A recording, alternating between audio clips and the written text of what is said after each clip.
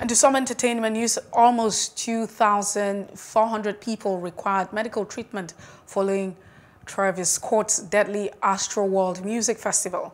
The information came from a new document filed on May the 9th on behalf of some of the victims. The document details include and injuries that required both extensive and less extensive treatment following tragic event of November 5, 2021.